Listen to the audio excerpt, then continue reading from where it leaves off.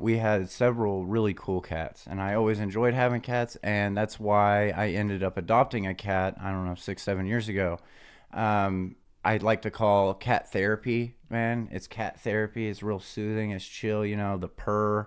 Um, Yeah. So it's definitely a different type of. Uh, you know, they're definitely different than the dog. But I, of course, I also have a dog, Elliot. It's crazy to think my favorite animals growing up were cats, and I never thought I would be a dog lover until I got a dog. See, I And was hated like, cats. I love him. I mean, we had cats, but one was super nice. One, the other, you couldn't trust. Cats are assholes. Like man. anytime you're Yeah. walking past the laundry room to get to the garage door, it always like, and it try to like swipe at you, and you just you can't trust them, Yeah. So from uh, you can't train them either. what I understood about cats is, yeah, they're very independent. And I that's feel like what I liked about it, though.